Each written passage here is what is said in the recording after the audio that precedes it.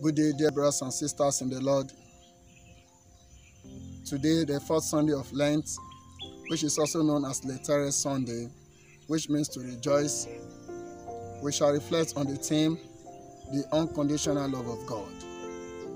We should be taken from the Gospel of the day, the Gospel of John chapter 3, 14 to 21. God made the world to be balanced, but the sin of Adam and Eve unbalanced the world. And the coming of Jesus was to balance it again. Dear friends in Christ, in this season of Lent, just as God the Father sacrificed God the Son for the salvation of the world, we are also meant to be sacrificial in our dealings with our brothers and sisters.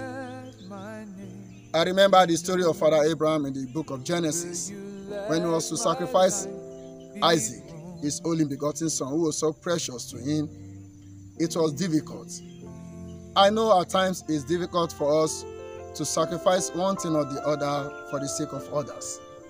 But when we remember the God that we serve, how it was for him when he sacrificed Jesus Christ, we too, we know that we are meant to do, to live that life of sacrifice. I call, up, I call on us in this season of Lent to be sacrificial in all that we do. And as Christians, we are meant to live in the light. And we should allow the light to always go with us in whatever we do. This world will never be balanced until we ourselves make it balanced by our sacrificial acts, just as Christ did for us. When you look at the world today, a lot of things happen, and you begin to imagine how did you come about this? But it is because of the greed, the selfishness of people. And that is why we are find ourselves in this condition.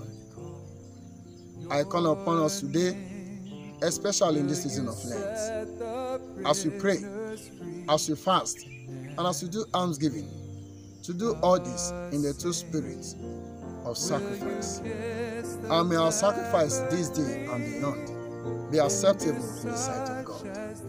And may Almighty God bless you. In the name of the Father, and of the Son, and of the Holy Spirit.